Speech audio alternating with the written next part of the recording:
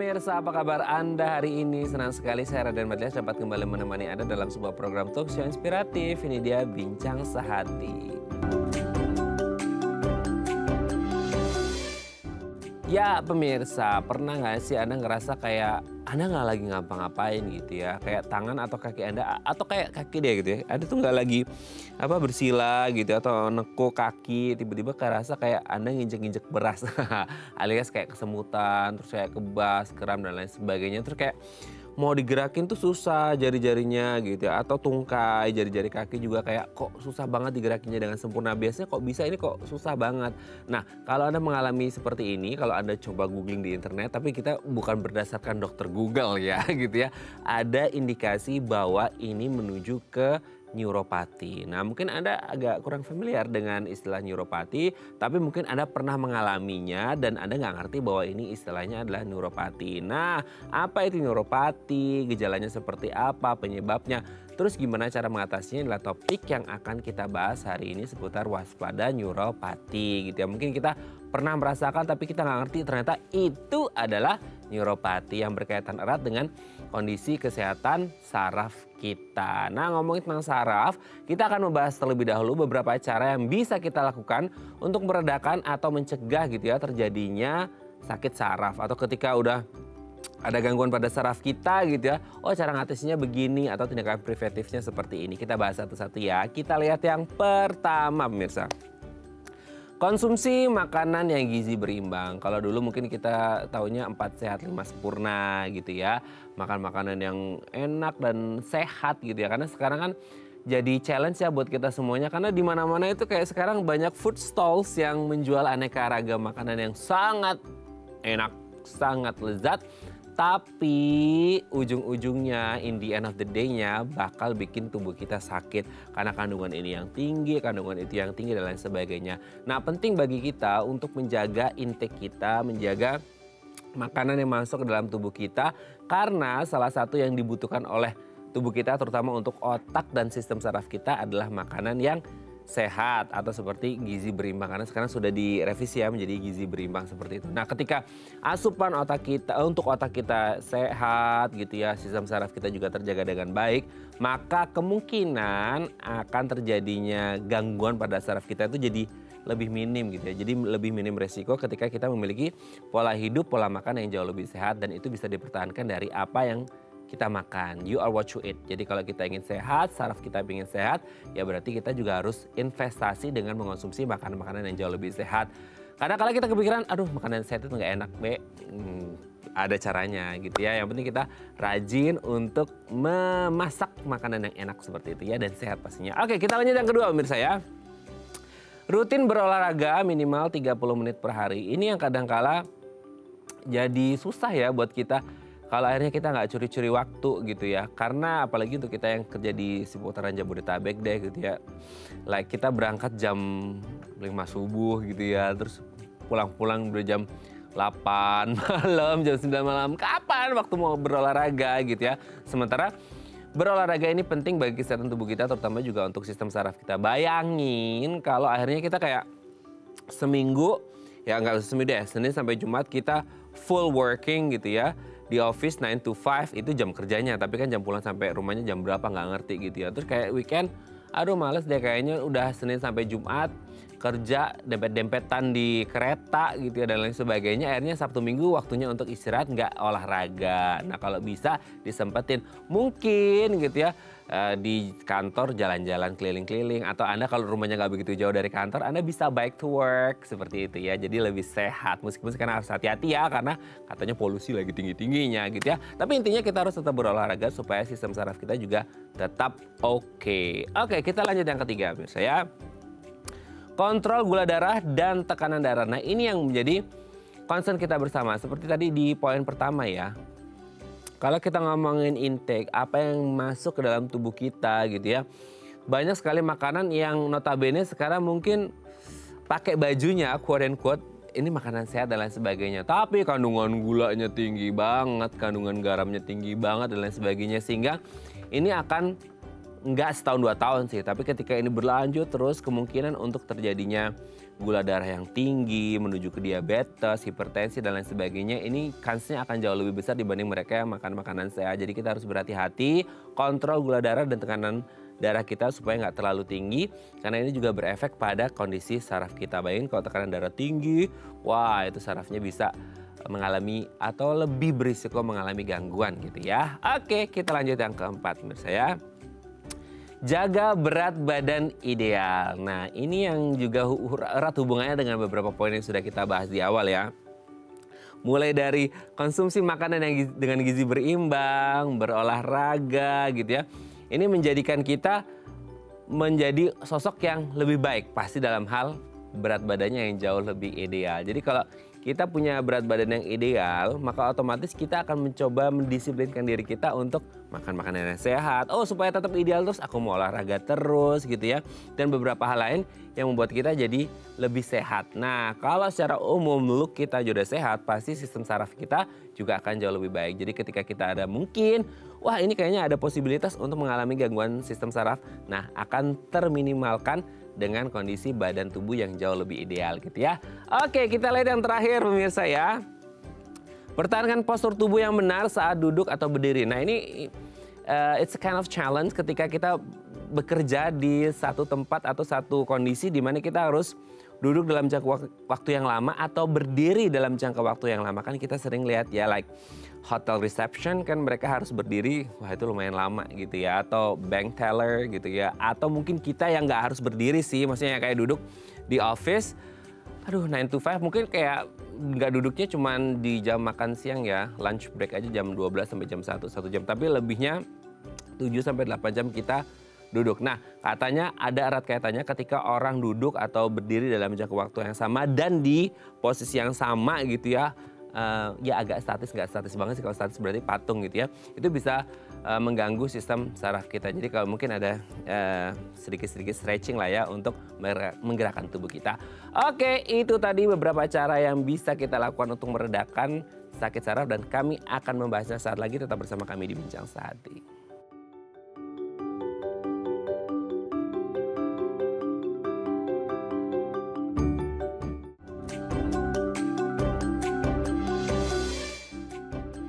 Baik, karena masih bersama kami di Bincang Sehati tadi di segmen sebelumnya kita sudah membahas ya ada beberapa hal yang bisa kita lakukan untuk meredakan atau at least sebagai tindakan preventif supaya sistem saraf di tubuh kita tidak mengalami gangguan. Kalaupun akhirnya terjadi gangguan mungkin lebih mild ya, lebih lebih ringan gitu, tidak lebih berat dan lain sebagainya. Nah, untuk membahasnya, untuk mendapatkan penjelasan lebih mendalam telah hadir bersama kami di Studio Bincang Sehati.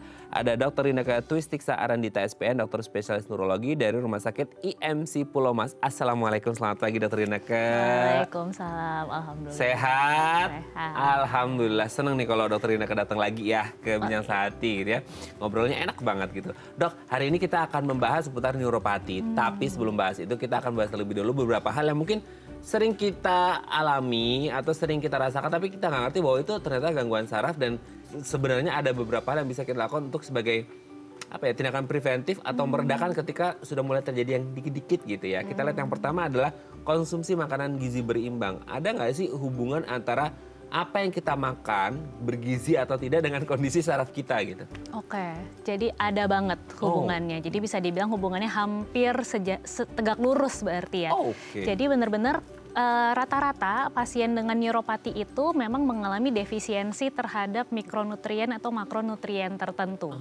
Jadi memang dengan pola hidup atau pola makan yang seimbang, mikronutrien dan makronutrien itu kan diharapkan akan tercukupi gitu ya. Hmm. Jadi bisa mencegah neuropati tentu akan lebih jelas juga. Gitu. Oh gitu ya. Hmm. Boleh di spill dikit-dikit nggak sih dok? Maksudnya hmm. makanan-makanan hmm. apa sih atau yang mengandung apa gitu ya?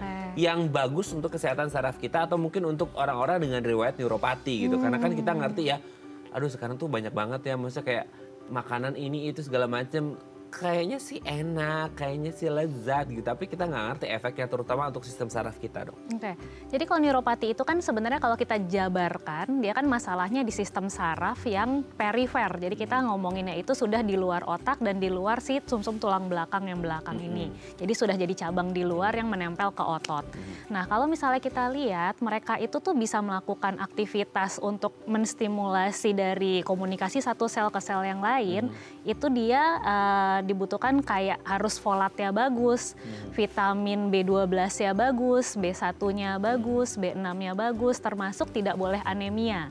Oh. Jadi berarti yang kita pikirkan adalah oh berarti yang menghasilkan benda-benda ini nih yang harus dicukupin. Yang mungkin sebenarnya kayak kacang-kacangan, almond kayak gitu-gitu ya. Hmm. Atau ya kalau misalnya kita ngomongin secara umum kita uh, pendukung Mediterranean diet. Mediterranean diet itu ya berarti sebenarnya semua ada, hmm. poultry-nya ada, ikannya ada, lemaknya ada. Jadi semua memang harus seimbang tapi dengan porsi yang sesuai masing-masing itu supaya semua bisa tercukupi. Jadi neuropatinya juga bisa terhindar. Nah, itu dia ya pentingnya menjaga hmm. makan gitu ya, Betul. ya. Oke, lanjut yang kedua, berolahraga. Hmm. Kan kadang-kadang aduh gimana dok mau berolahraga sarafnya lagi sakit gitu suruh hmm. berolahraga tambah celak-celak kita tambah sakit hubungan olahraga dan sistem saraf tubuh kita jadi olahraga itu memperbaiki metabolisme tubuh secara keseluruhan. Ke seluruh, oke. Okay. Uh, kalau misalnya tadi kita bahas di awal ya pola hidup itu kalau bisa ya seimbang juga. Hmm. Kalau tadi sempat terbahas makanan ya berarti olahraga ini termasuk dalam penyeimbangan si pola hidup hmm. gitu. Nah, olahraga yang dibilang 30 menit sehari itu sebenarnya kurang lebih. Hmm. Jadi kita bisa bilang tergantung dari intensitas olahraga yang mau kita oh, kerjakan. Ringan, sedang atau berat. Berat, gitu ya? iya ya. betul. Jadi kalau misalnya intensitasnya lebih ke ringan sedang, kita biasanya targetinnya tuh seminggu. Seminggu hmm. targetnya 150 menit ya. But uh, kayak tiga tiga kali lima. Berarti, oh iya lima hari iya, ya. Berarti iya, kalau misalnya lima hari ya 30 menit. Tapi hmm. kalau misalnya mau dibagi tujuh hari nih, misalnya aku seminggu penuh deh olahraga terus ya, berarti mungkin kan nggak nyampe 30 menit gitu. Hmm. Kalau misalnya lebih seneng yang intensitas sedang berat gitu hmm. ya, yang high intensity, kita 75 menit per minggu itu cukup. Hmm. Jadi targetnya adalah uh, aliran darah semuanya baik, otot-ototnya tetap bisa bergerak supaya mencegah terjadinya spasme atau kram, hmm. dan juga sistem si sendi dan tulangnya juga tetap terasah terus. Jadi tidak ada hmm. kekakuan sendi yang akan menimbulkan bisa saja nantinya jadi neuropati. Hmm, tapi kalau lebih dari 30 menit nggak apa-apa nggak sih dok? Atau bisa bahaya malahan? Kalau kami sih lebih menyarankan tidak lebih ya. Kalau emang hmm. tiap hari dikerjakan. Kenapa? Oh. Karena bisa jadi fatik ketika oh, ototnya iya ototnya fatik kelelahan malah timbul nyeri yang baru nyeri hmm. miofasial itu mungkin nanti di tempat lain ya kita hmm. bahasnya nah ini malah jadi nyeri yang baru akhirnya malah orang bisa jadi trauma nih olahraga ternyata hmm. habis olahraga sakit ya ah oh. udah nggak jadi betul, gitu jadi betul. mendingan yang sifatnya rutin hmm. tapi waktunya nggak usah diforsir terlalu banyak gitu hmm, sesuai karena kadang-kala kita juga bisa apa yang ngebaca kondisi tubuh kita kayak udah aduh kayaknya udah capek banget atau kayak yeah. masih oke okay nih gitu ya. Oke okay ya, kita lanjut yang ketiga. Nah, gula darah dan tekanan darah tuh hubungannya dengan saraf gimana tuh? Iya, kalau gula darah mungkin sering dengar yang namanya neuropati diabetes. Hmm. Jadi pada gula darah yang sifatnya hiperglikemia, kita bayanginnya itu kan harusnya gula ini masuk ke sel di badan kita. Hmm. Jadi makanannya dia yeah. supaya dia bisa tetap melakukan aktivitasnya gitu hmm. ya. Tapi kalau misalnya diabetes atau hiperglikemia gulanya terlalu banyak di pembuluh darah, berarti si gula ini tidak masuk ke sel. Hmm. Ketika gula tidak masuk ke sel, sel-sel yang kelaparan ini lama-lama akan membuat suatu program uh, kematian sel yang lebih awal. Waduh. Gitu. Nah, itulah yang akan menjadi masalah. Berarti sel-selnya berkurang, berarti metabolisme di situ terganggu, bisa menimbulkan neuropati. Hmm. Kalau tekanan darah tinggi mungkin kita bisa lebih fokus ke arah si pembuluh darahnya ya. Ke pembuluh darah dan juga sel-sel di bagian tubuh kita itu kan dia ber teman banget gitu ya. Kayak darah itu bawa oksigen, hmm. bawa glukosa juga. Okay. Jadi kalau misalnya tekanan darahnya tinggi, lalu tekanan uh, darah itu membuat gangguan struktur pembuluh darah, itu bisa bikin nutrisi yang harusnya masuk jadi nggak masuk. Hmm. Atau paling nggak terhambat deh. Tapi kalau terhambat terus-menerus, lama-lama kan akan ada fase kosongnya ya. Betul. Nah itulah nanti akan terjadi hal yang sama tadi. Hmm. Ada ada program kematian sel yang uh, bertambah gitu ya atau kematian selnya lebih cepat akhirnya juga mengarah ke neuropati. Aduh, ya jadi -hmm. memang benar-benar harus dikontrol tuh gula darah -hmm. dan tekanan darah ya. -hmm. Karena juga tidak hanya ngomongin saraf juga, tapi -hmm. lebih dari itu juga Betul. kesehatan tubuh secara menyeluruh gitu ya dok ya. Hmm. Oke. Nah berat badan yang ideal mungkin ini erat katanya juga dengan pola makan sama pola olahraga tadi hmm. gitu ya dan juga hmm. gula darah dan tekanan darah juga sih sebenarnya. Nah pola apa berat badan yang ideal hubungannya dengan sistem saraf gimana? Ada nggak sih kayak oh yang tubuhnya overweight atau obesity pasti lebih rentan mengalami sakit saraf gitu atau gimana? Iya, jadi kalau berat badan kita lebih mengarah ke metabolic syndrome. Hmm. Sindrom metabolik hmm. yang secara epidemiologi memang menimbulkan persentase ke penyakit lain lebih tinggi dibandingkan hmm. dengan orang-orang yang tidak memiliki sindrom metabolik. Okay. Kebetulan sindrom metabolik ini kadang juga akan mempengaruhi ke tadi pembuluh darahnya. Hmm. Terus tadi sindrom metabolik biasanya hiperglikemia itu mungkin ada, visceral fat fat yang tinggi juga mengganggu hormon-hormon yang memang harusnya bekerja seimbang. Hmm. Hal-hal hmm. inilah yang akan mengarah ke penyakit lain, termasuk hmm. neuropati. Hmm. Jadi kalau misalnya dibilang kalau gangguan um, apa sih berat badannya tidak ideal atau obesitas, apakah pasti akan ke neuropati? Mungkin nggak pasti ke neuropati, hmm. cuma kita harus pikirkan mungkin saja ke yang lain juga gitu. Hmm. Yang bisa saja nantinya akan ketemu juga sama si neuropati ini. Nah, aduh, makanya benar-benar ya harus jaga berat badan ideal dan itu dimulai dari bisa berolahraga, hmm. tadi konsumsi makanan gizi berimbang dan lain sebagainya ya dok ya. Oke yang terakhir, nah ini juga kadangkala ini jadi apa ya concernnya orang-orang kantoran gitu ya hmm. atau orang yang posisi kerjanya dengan duduk atau berdiri di posisi yang nggak statis banget kalau statis patung ya berarti kan hmm. maksudnya dengan posisi yang hampir sama terus gitu itu bisa hubungannya dengan sistem saraf kita gimana dong? Iya, jadi kalau kita ngomongin neuropati sebenarnya dia tipenya tuh ada beberapa gitu. Hmm. Ada yang dia kerusakannya di selubung si sarafnya hmm. yang bikin stimulasi antar komunikasi di sarafnya terganggu. Hmm. Ada yang dia berhubungan sama si sistem saraf yang diselubungin, jadi saraf yang di dalam yang jalan itu. Itu yang kita sebut sebagai aksonopati yang sering ditemukan pada orang-orang yang memang gangguan posisi. Hmm. Jadi kita bayanginnya kalau gangguan posisi biasanya yang akan dialami duluan tuh gangguan celah sendi. Hmm. Ketika celah sendinya gangguan bisa saja terjadi ada tuh namanya uh, diskus intravertebralis jadi kayak bantalan hmm. di antara tulangnya itu karena ada pengecilan dia terdesak ke belakang. Hmm. Ketika terdesak saraf yang lewat bisa saja kecolek, bisa juga tertekan hmm. atau sampai benar-benar kesodok banget gitu ya. Nah, itu menimbulkan uh, tekanan yang terus-menerus di daerah situ sehingga menimbulkan si neuropati yang tipe aksonopati itu. Hmm. Jadi adanya dalam tanda kalau misalnya ekstrimnya lah kita bilang ada pemutusan komunikasi dari si saraf dari ujung yang sini ke ujung yang depannya hmm. gitu. Hmm. Nah ketika itu terjadi ya berarti pasti akan muncul tuh gejala-gejala neuropatinya. Bisa jadi kesemutan dulu, kebas dulu, atau mungkin kram-kram otot. Sampai yang lebih jauh sampai ototnya mengecil gitu. Hmm. Jadi memang semua itu harus seimbang. Ketika kita pola hidupnya makan udah bagus, olahraga udah bagus, ketika kerja posisinya nggak bagus, jadinya keseimbangan itu akan terganggu juga. Jadi hmm. benar-benar semuanya harus seimbang. Semuanya harus seimbang ya, semuanya tanpa terkecuali ya, tanpa ya, mulai dari makanan, pola tidur, pola olahraga dan lain sebagainya. Hmm. Oke, okay, thank you dok. Nanti kita lanjut lagi bahas neuropati lebih mendalam ya. Okay. Oke okay, pemirsa, kalau anda punya pertanyaan seputar tema kita hari ini boleh tanya-tanya di 021 290 32644 atau DM Instagram kami di @daifamily. Kami ketemu saat lagi.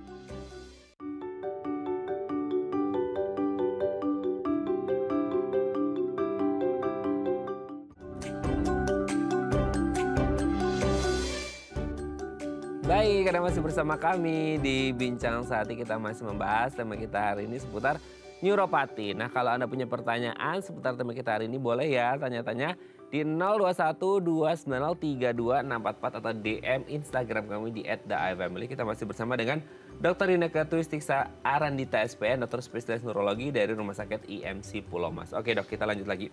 Tadi kan sempat dimention tipis-tipis lah ya seputar hmm. neuropati. Nah, mungkin di masyarakat kita ada yang pernah mengalami neuropati. Cuman mereka mungkin nggak ngerti terminologi istilah neuropati hmm. gitu ya. Bahwa oh ini artinya uh, namanya adalah neuropati. Nah, boleh dijelasin lebih detail lagi nggak sih dok? Apa itu neuropati? Yang mungkin sering kita rasakan tapi kita nggak ngerti itu neuropati gitu. Iya, iya.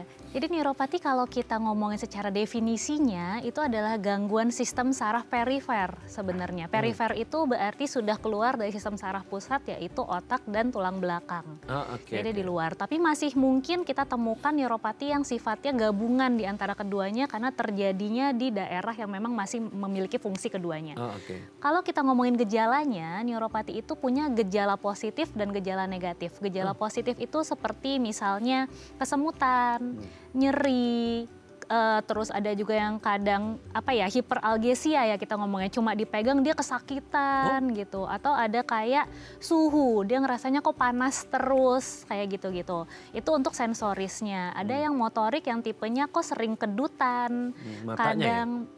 Ototnya, ototnya di mana pun oh. gitu. Jadi bisa uh, muncul kedutan di mana-mana atau misalnya oh, dia juga bisa di mana-mana. Mm, atau kadang kram itu juga gejala positif atau ada juga yang sampai uh, gangguan gerak ya tiba-tiba twitching oh, iya, kayak iya, gitu-gitu. Iya, iya. Kalau gejala negatif itu adalah hal-hal yang sifatnya lebih uh, malah kurang rasa jadi kadang oh. tuh ngerasa kayak kebas atau suhu kita kasih suhu panas di misalnya di telapak tangan gitu ya dia nggak hmm. ngerasa.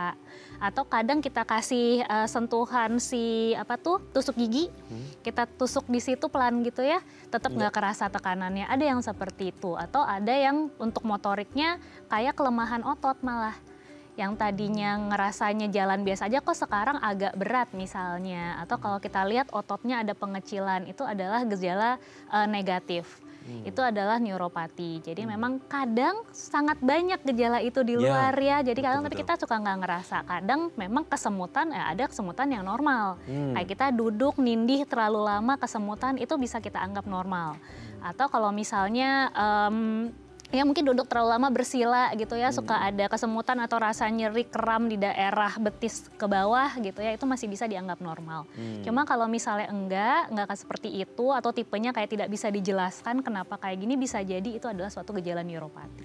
Oke, jadi kan kalau salah satu gejala yang sering kita rasakan mungkin bagi sebagian orang umum adalah kayak hmm. kesemutan kebas hmm. gara-gara mungkin tadi dokter sudah sampaikan kayak kita duduk bersila atau tindih gitu kan. Mm-hmm. Itu kan sesuatu yang umum terjadi gitu ya. Yeah. Yang kadang-kadang ini ngebedainnya menuju ke neuropati sama umum gimana? Apakah mm-hmm. kalau yang umum itu yang kayak misal kita bersila terus habis itu dia lurus lagi, dia lancar lagi gitu ya. Mm. Kalau neuropati itu nggak ada angin, nggak ada hujan gitu ya, itu hmm. dua muncul dan bisa yeah. bertahan lama atau gimana? Iya betul, bisa bertahan hmm. lama. Dan mungkin yang harus menjadi catatan di Indonesia ini, hmm. kenapa kadang suka kesemutannya kok agak panjang, kita itu sangat rawan defisiensi vitamin B12. Iya, vitamin B12, asam folat tuh ternyata di Indonesia tuh tinggi. Hmm. Apalagi uh, kita tuh rawan anemia. Nah, oh. anemia kita tuh adalah anemia yang tipenya kekurangan vitamin B12. Rata-rata seperti itu. Makanya hmm. kadang anemia-anemia ini harus kita cari nih pada orang yang ngerasa kok saya kesemutannya agak panjang misalnya. Hmm. Atau ngerasa kayak gejala neuropati lain lalu datang ke kita mau nari tahu ini kenapa. Kita pikirkan nutrisinya dulu. Hmm. Dan kadang juga pasien-pasien di negara kita ini di Indonesia itu sangat banyak yang memiliki diabetes atau hiperglikemia. Hmm Nah itu jadi kadang kita juga harus lihat tuh ada riwayat ini atau enggak. Kalau emang tidak ada riwayat mungkin tidak ada salahnya kita cek uh, ada yang namanya HbA1c untuk hmm. melihat hiperglikemia tiga bulan ke belakang. Hmm. Untuk kita melihat sebenarnya faktor risiko dari neuropatinya ada atau enggak gitu. Hmm. Jadi neuropati emang kadang gejalanya bisa dibilang sering kok ditemukan pada orang iya, normal betul, gitu ya. Betul, Cuma kadang kita perhatikan kalau dia lebih sering, hmm. kalau dia kejadiannya lebih panjang dan kalau dia berulang makin lama makin banyak dan diikuti gejala neuropati hmm. lain atau non neuropati, mungkin kita harus mencari tahu ini tipenya yang mana. Hmm, nah hmm. kalau kita ngomongin neuropati kan memang kondisinya seperti itu. Nah ada nggak sih jenis-jenis neuropati apakah itu tergantung pada penyebabnya hmm. itu bisa hmm. beda-beda gitu ya hmm. karena tadi kan manifestasi gejalanya beda-beda juga tuh dok hmm. itu, penyebabnya bisa beda-beda tergantung jenisnya atau gimana iya jadi kalau misalnya untuk neuropati kita hmm. secara umum ada tiga ya oh, tadi itu tiga. tuh jadi neuropati yang bisa masalahnya di uh, selubung sarafnya yang hmm. kita sebut sebagai mielonopati hmm. ada yang masalahnya di bagian saraf yang jalan di dalam selubung hmm. itu namanya aksonopati hmm. atau masalahnya memang di badan dan sel sarafnya. Uh. Itu itu namanya neuronopati. Jadi kita ngelihatnya dari situ. Nah, gejalanya rata-rata mirip, bahkan uh. ada yang sama. Oh. Karena rata-rata jarang nih ada pasien yang benar-benar datang dia memang murni mielinopati doang atau aksonopati. Bisa juga kayak mix gitu. Hmm. Atau ya gejalanya gejala neuropati awal biasanya memang gejalanya sensoris duluan. Hmm. kesemutan. Jadi kita harus benar-benar cek semuanya tuh secara holistik ketika kita bertemu dengan pasiennya. Hmm. Kesemutannya dari kapan, makannya gimana, aktivitas fisiknya gimana, itu semua harus dilihat. Ada riwayat apa di keluarga nah, gitu ya. Atau ada riwayat penyakit apa di diri pasiennya sendiri, nah, itu betul. semua harus diketahui gitu. Hmm. Bahkan mungkin pada pasien-pasien neuropati dengan uh, usia yang lebih muda, kita bisa tanyain tuh dia waktu lahirnya atau ketika uh, tumbuh kembangnya ada masalah apa itu juga kadang perlu diperhatikan. Hmm. Untuk kita bisa mengarahkan ini ke tipe neuropati yang mana berdasarkan etiologi atau penyebab dari neuropatinya itu sendiri. Nah, nah kalau dari tiga jenis itu penyebabnya sendiri dia lebih ke karena selama ini kalau kita ngomongin yang seperti itu kan banyak bilang ah itu genetik gitu hmm. kan ya. Hmm. Atau mungkin dari faktor eksternal juga bisa atau gimana? Iya, jadi neuropati itu banyak bisa jadi keracunan, keracunan hmm. dalam artian misalnya nih um, di kerjanya sebagai petani sering pakai pestisida. Oh iya iya. Itu iya. bisa bikin neuropati. Hmm. Atau dia um, memang ada hiperglikemia ya bisa lah bikin neuropati. Atau dia neuropati yang uh, sistem eh uh, sindrom Guillain-Barré kalau pernah dengar itu hmm. karena infeksi itu juga bisa bikin neuropati. Hmm. Jadi bisa aja faktor eksternal berpengaruh termasuk nutrisi. Jadi itu sih. Jadi hmm. kadang tuh yang kadang disayangkan ya mungkin sebenarnya tidak ada faktor risiko lain, cuma nutrisinya kurang dijaga gitu. Hmm. Akhirnya menimbulkan ya vitamin B12 defisiensi, vitamin B1 defisiensi, itu bikin dia neuropati atau alkoholisme. Jadi kan ini sosial banget ya sebenarnya hmm. lingkungan banget gitu. Betul, Alkoholisme itu bisa mengarah kepada defisiensi B1 tiamin.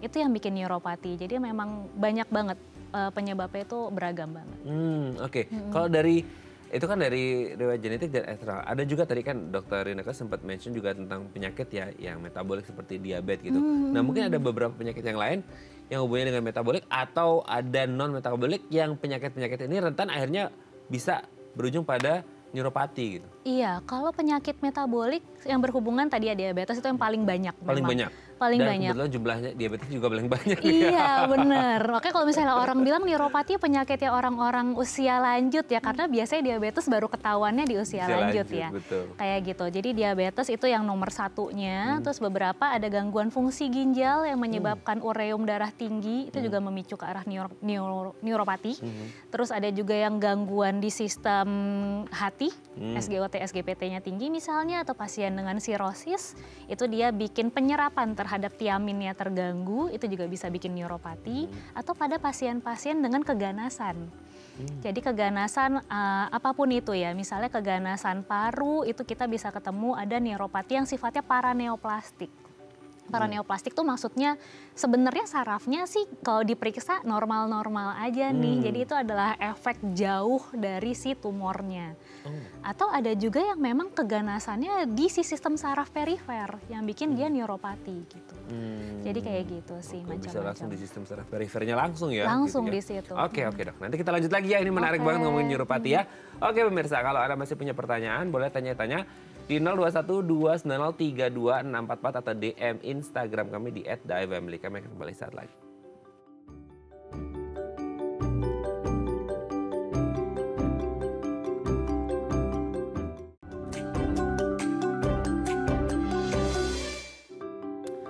Baik, karena masih bersama kami di Bincang Saat ini kita masih membahas seputar neuropati. Nah, kalau Anda punya pertanyaan seputar tema kita hari ini, boleh tanya-tanya di 0212903244 atau DM Instagram kami di @daifamily. Kita masih bersama dengan Dr. Ineke Twistix.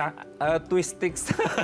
ini namanya ini unik banget ya dok ya. Dr. Ineke Twistiksa Arandita SPN, dokter spesialis neurologi dari Rumah Sakit IMC Pulau Mas. Oke dok, kita lanjut lagi.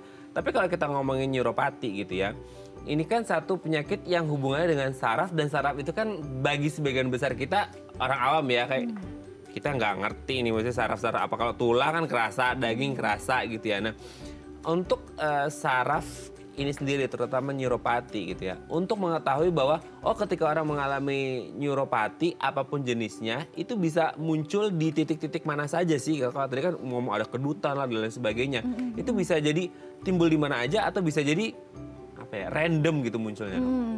Jadi gejala awal yang sering dikeluhkan pada neuropati itu di ujung-ujung, oh, ujung tangan, tangan, ujung kaki, oh. sampai ada kita bikin uh, istilah namanya uh, stock, stocking and glove. Jadi kayak pakai kaos kaki sama yeah. kayak pakai sarung tangan gitu. Hmm. Jadi neuropati emang rata-rata di ujung dulu. Kenapa? Karena kan sebenarnya sistem saraf perifer itu hmm. ada badan sarafnya lalu dia bercabang menjadi akson itu. Hmm. Nah, itu aksonnya tuh ada yang panjang gitu ya, lurus, ada yang dia panjang, so ada cabangnya di bawah. Semakin dia di bawah, berarti kan jarak antara dia sama si badan sel semakin jauh. Hmm. Jadi kalau misalnya nih ada gangguan metabolisme, ya. gangguan nutrisi, pasti daerah paling ujung yang akan terdampak duluan. Iya, kayak orang diabetes diabetes. Iya, betul Iya, betul betul. Yang terdampak duluan tuh yang ujung karena hmm. dia emang makin jauh, berarti nutrisinya pun makin lama nyampe nya ke dia gitu. Jadi biasanya keluhannya tuh di ujung-ujung dulu. Orang-orang lebih sering ngomongnya kayak nginjek pasir atau eh. ngerasa panas tapi nggak hilang-hilang padahal udah disiram, udah di apa tetap aja panas kayak gitu-gitu. Itu adalah tipe neuropati. Hmm. Kalau yang tipenya seperti kedutan atau gangguan otot, otot pun biasanya muncul di daerah bawah duluan. Hmm. Karena itu tadi ya sama uh, pemikirannya halnya yang sama. Kedutan pun kalau kedutan dia sifatnya lebih um, sporadik ya. Hmm. Jadi nggak selalu dia di bawah dulu, walaupun kadang-kadang memang lebih di, lebih sering ditemukan di daerah betis. Hmm. Di daerah betis ada yang dia kedutan, ada yang kram, ada yang kram berat yang kita sebut sebagai miokimia yang benar-benar kita bisa lihat tuh perubahan bentuk ototnya gara-gara hmm. keramnya itu. Jadi memang miopati umumnya terjadi, eh, neuropati hmm. umumnya terjadinya di daerah paling bawah dulu hmm. yang daerah ujung-ujung dulu, baru dia lama-lama bisa naik sampai ke lebih atas lagi. Oh, oke oke oke. Itu hmm. jadi memang kita harus aware ya bahwa kalau yang di hmm. ujung-ujung gitu ya kita kerasa. Karena kan kadang-kadang orang nggak begitu aware karena mungkin dipikirnya uh, ya kebas biasa, kesempatan yeah, biasa yeah. gitu ya. Nah, sekarang kita lebih ke bagaimana caranya untuk orang mengetahui gitu ya uh, terkait masalah screening sih dok. Maksudnya untuk mengetahui mungkin orang tua agak khawatir ya mungkin dia ada riwayat atau mungkin ayah atau buyutnya gitu yeah, ya ada iya, riwayat yeah. neuropati gitu ya. Takut dia atau anaknya selanjutnya itu juga karena ada nggak sih pemeriksaan dari awal kayak oh dari hamil kayak atau dari bayi lahir gitu ya untuk screening dari awal atau di usia tertentu udah mulai bisa nih untuk screening ada nggak nih kemungkinan neuropati ke depannya? Karena kan kalau ngomongin neuropati saraf kan sesuatu yang bagi orang umum kan invisible ya nggak kelihatan gitu ya. Atau kayak jangan juga nunggu gejalanya muncul berarti kan sudah ada gangguan di situ gimana?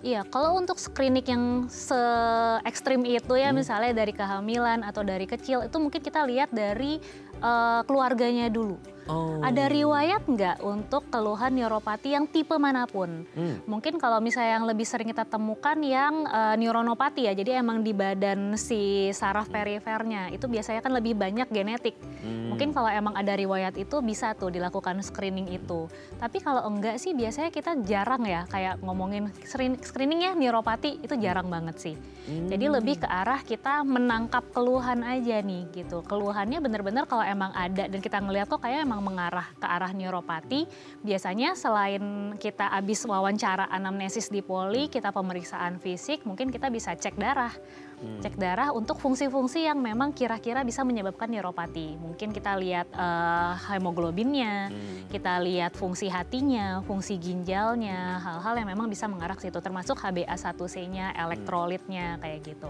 Kalau emang ternyata normal semua dan emang gejalanya khas banget, kita ada pemeriksaan yang namanya uh, eh, KHS, kecepatan hantar saraf. Hmm. Itu tuh pemeriksaan neurodiagnostik elektrofisiologi. Jadi nanti di situ kita mau menilai si sarafnya sendiri. Jadi hmm. kita ada kita pemberian stimulasi ya, stimulasi listrik. Terus kita lihat, kita nilai apakah memang ada gangguan di sistem saraf perifernya. Gangguannya juga yang mana tipenya itu bisa ketahuan dari situ, yang aksonopatikah, mielonopatikah hmm. gitu, biar nanti kita bisa mengarah ke arah pengobatannya lebih ke arah mana. Hmm. Kalau emang KHS ya belum cukup uh, menggambarkan, kita bisa lanjut kalau pernah dengar ada elektromiografi, EMG. Oh, iya, iya. Uh, itu kita mau ngelihat gambaran uh, kontraksi ototnya yang memang berhubungan kan otot ini akan ditempelin sama si saraf gimana tuh hubungan antar mereka. Yang itu bisa kita lihat mengarahkan ini aksonopatikah atau mielopatikah atau mungkin lebih ke arah si neuronopati gitu. Hmm, Oke, okay. hmm. tapi kalau semisal ya ada riwayatnya, tapi kan kadang-kadang kita juga bingung ya silsilah hmm. keluarga kita riwayatnya kan kita nggak ngerti kadang hmm. udah kalau yang udah uh, level keberapa gitu itu kita nggak paham gitu. Tapi mungkin nggak sih kayak kalau kita orang tua terus berarti apa kakek gitu ya hmm. atau buyut gitu ya itu ada riwayatnya terus kayak mandek di uh, kakek atau ayah kita nah kitanya sendiri atau mungkin anak kita itu bisa nggak akhirnya yang kayaknya udah keputus tapi masih menyimpan bibit juga bisa terjadi gitu. hmm. gitu. Iya itu bisa. Jadi kalau hmm. misalnya ingat hukum uh, persilangan hmm. ketika ada perkawinan gitu ya, ada gen yang memang dia sifatnya dominan, ada yang sifatnya harus ketemu jadi dua-duanya ada baru hmm. muncul kayak oh, gitu. Iya, iya. Jadi memang untuk genetik dari neuropati ini sifatnya juga banyak. Ada yang dia butuh salah satunya aja punya jadi, hmm. ada juga yang perlu dua-duanya jadi. Nah ini mungkin kadang ditemukan di atas,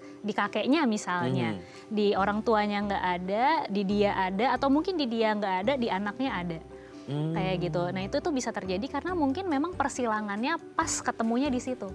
Hmm. Jadi ada uh, gen-gen karier yang memang terus membawa nih bakatnya ya kalau kita ngomongnya. Yeah. Nah itu baru keluar di generasi uh, bawahnya. Hmm. Biasanya kalau kita ngelihatnya itu tiga ke atas, tiga ke bawah. Hmm. Jadi kalau misalnya ada yang gejala kita kayak ngeliat kok kayaknya ini tipe yang genetik ya gitu, hmm. kita akan tanya tiga ke atas, tiga ke bawah termasuk kanan kiri ya tiga tantenya. Ke kanan, eh, tiga ke atas itu tiganya hmm. dari mulai dari kita atau dari dari kita? Oh dari kita. Dari kita. Oh. Jadi dari yang punya gejala. Oh oke. Okay, dari okay, yang punya gejala. Kalau yang punya gejala kita, berarti kita tanya orang tua kita, uh, orang tua orang tuanya kita, hmm. sampai kalau bisa buyut kita tanya juga. Hmm. Cuma itu kadang susah ya. Itu iya, kesulitannya ya, di situ. Uh, jadi kadang kita cuma bisa ngelihat ini kan ada gejala-gejala yang memang khusus dimiliki untuk beberapa penyakit yang uh, mempengaruhi neuropati ini gitu. Hmm.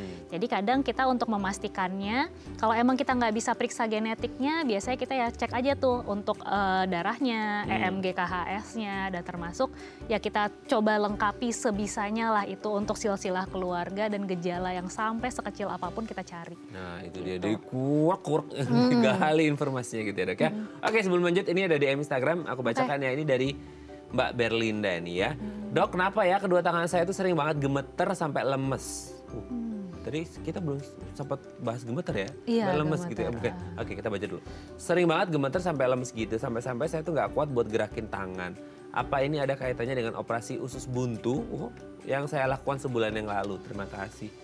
Oh tangannya sering gemetar sampai lemas, kadang-kadang sampai nggak kuat gerakin tangan. Ada kaitan sama operasi usus buntu, gimana nih dok? Hmm, Ini ada yeah. hubungan dengan iya, saraf iya. kan? Kalau tangan hmm. gemetar lemas, ada sarafnya itu gimana? Iya, jadi kalau untuk gemetar itu kan biasanya tremor ya kita hmm. ngomongnya. Mungkin banyak hal yang perlu kita eksplor dari tremornya dulu. Tremornya tipe apa?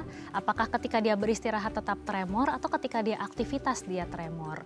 Kalau hmm. misalnya ketika aktivitas dia tremor, mungkin kita pikirkan elektrolit ya seperti apa. Apalagi setelah operasi nih. Yeah. Pasca operasi biasanya ada luka-luka operasi yang sedang dalam proses pemulihan menggunakan antibiotik. Kadangkala ada efek samping ke elektrolit. Hmm. Jadi kita pastiin dulu elektrolitnya baik. Hmm. Ketika elektrolitnya baik, kita mungkin harus periksa mungkin dari EMG superficial untuk hmm. melihat tremornya tipe yang mana. Hmm. Karena kalau misalnya dia bilang tremor sampai lemes, mungkin lemesnya itu adalah fatik karena tremornya.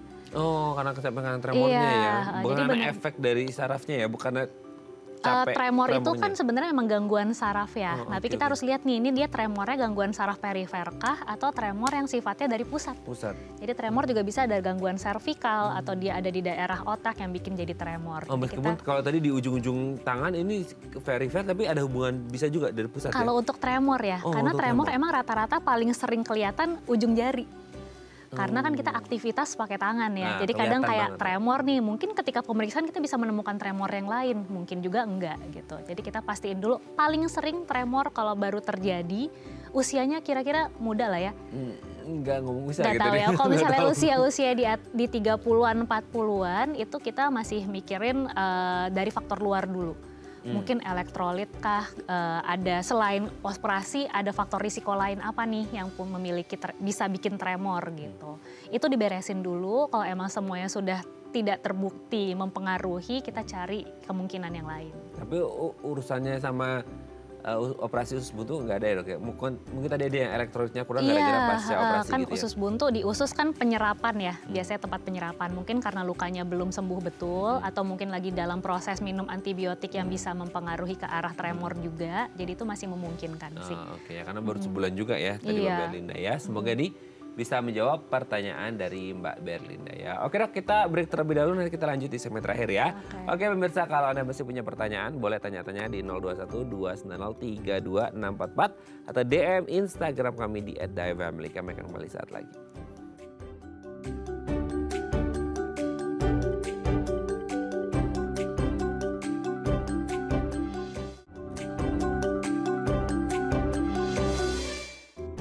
Baik, Anda masih bersama kami di Bincang Saat ini kita masih membahas tema kita hari ini seputar neuropati masih bersama dengan Dr. Rineke Twistiksa Arandita SPN, dokter spesialis neurologi dari Rumah Sakit IMC Pulau Mas. Oke dok, sekarang kalau orang udah didiagnosis nih, orang mengalami neuropati. Nah untuk pengobatannya sendiri seperti apa? Apakah bergantung pada tiga jenis yang tadi hmm. atau mungkin ada terapi atau treatment tindakan khusus untuk neuropati ini sendiri? Iya, jadi pengobatannya tergantung dari penyebab utamanya. Oke. Okay. Penyebab utamanya. Kalau yang tiga jenis tadi kan tiga tipe neuropatinya Neuropati, yang bisa terjadi pada penyebabnya hmm. apa pun gitu ya. Kalau yang kita lihat memang dia neuropatinya tipe yang karena diabetes ya benerin diabetesnya. Kalau dia awali dari diabetesnya dulu gitu ya, iya, ya. jadi kita cari nih bener-bener cari penyebabnya apa sih biar uh, kita ngobatinnya juga juga ada target gitu. Jadi kalau misalnya kita lihat, oh ini tipenya karena dia ada, misalnya yang tadi tuh duduknya nggak benar, akhirnya ada kompresi ya, berarti kita benerin posisinya. Hmm. Kalau misalnya dia karena makannya tidak banyak yang mengandung besi misalnya, terus jadi anemia ya benerin anemianya gitu. Hmm. Jadi kalau misalnya ada juga yang infeksi kayak tadi sindrom Guillain-Barré gitu ya, itu kan karena infeksi. Kalau karena infeksi sindrom Guillain-Barré kita biasanya tidak bisa dengan obat saja. Kita akan meminta dengan fisioterapi juga untuk kita memperbaiki neuropatinya. Jadi memang benar-benar tergantung dari penyebabnya itu sendiri apa. Oke, kalau diabetes kan penyakit yang nggak akan bisa sembuh katanya dok. Yeah, Berarti yeah, kalau yeah. neuropati karena diabetes gimana? Yang penting terkontrol. Jadi ketika gula darah terkontrol, tidak tinggi di pembuluh darah, anggapan kita adalah oh berarti gulanya masuk ke sel. Uh. Gitu. Jadi saya selalu bilang nih sama uh, kebetulan kalau misalnya ada pasien yang ngomong dengan gula tinggi atau diabetesnya belum terkontrol, saya bilang akan percuma nih kita bikin obat untuk neuropatinya, tapi gulanya nggak beres-beres. Jadinya kayak kita tutup lubang buka lubang gitu. Jadi gulanya harus bagus dulu iya. gitu. Ketika gulanya sudah bagus, pengobatan neuropatinya juga akan mengikuti dengan optimal. Oke, gitu. dok ini segmen terakhir kita pendek banget waktunya, tapi ini hmm. ada penelpon kita angkat ya. Oke. Okay. Semoga bisa cukup di waktunya. Halo, selamat pagi dengan siapa di mana? Mulyadi di Medan. Pak Mulyadi di Medan, silakan Pak mau tanya apa ke Dokter uh, Ineke? Selamat, selamat pagi dokter. Ya pagi uh, Pak. Ujung, ya ujung jari kaki saya ini telapak kakinya terasa seperti berpasir. Hmm.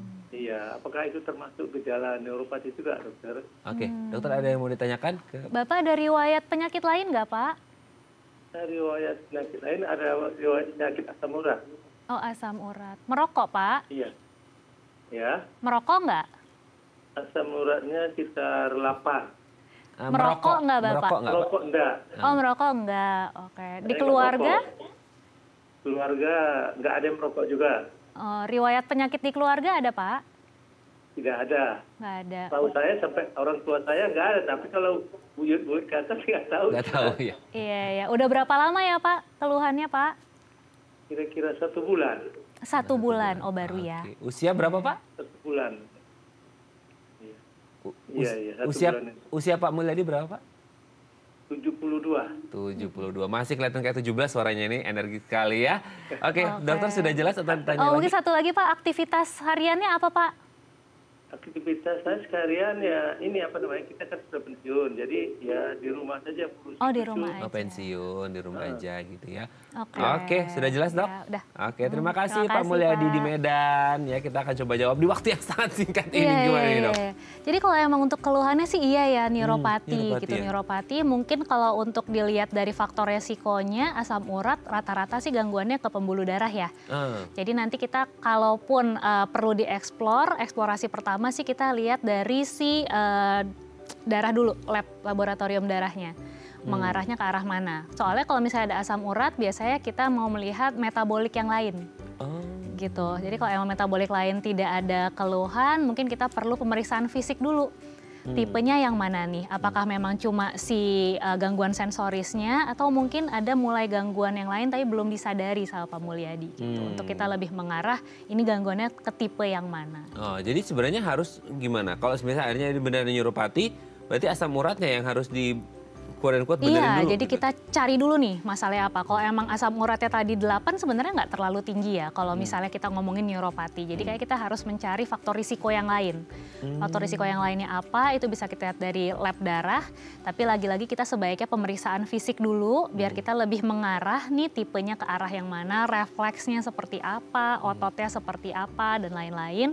Setelah itu baru kita pikirkan lagi uh, mencari eksplorasinya ke arah mana. Nah, fisik itu berarti uh, dari sini kelihatan atau benar-benar harus dicek dengan interview dulu wawancara dengan pasien ya, atau gimana? jadi memang sebaiknya sih ketemu dokter saraf terdekat di sana biar bisa dieksplor dan diperiksa lebih lanjut dan lebih mendetail. Hmm. Jadi kan yang tadi ya bisa aja kita ketemu fasikulasi atau kedutan yang kadang hmm. nggak hmm. kelihatan atau nggak berasa atau mungkin hmm. kekuatan ototnya sudah mulai berkurang tapi belum dirasakan, hmm. termasuk refleks refleksnya menurunkah atau masih normal kayak gitu. Itu juga harus dicek dulu, memang diceknya di setting poli, hmm. biar nanti kita juga kalau mau melakukan pemeriksaan lanjutan bisa langsung pemeriksaan yang mengerucut ke arah mana. Nah, tapi ada nggak yang khas yang biasa dirasakan ketika uh, oh ini akan berujung pada neuropati yang ada pasir-pasirnya tadi gitu. Iya, ada iya. kalau untuk neuropati tapi baru satu bulan, nah. kita harus pikirkan kalau misalnya mengarah ke arah metabolik, hmm. pikirkannya tuh udah lebih uh, ke arah sekian bulan sampai satu tahun ke belakang.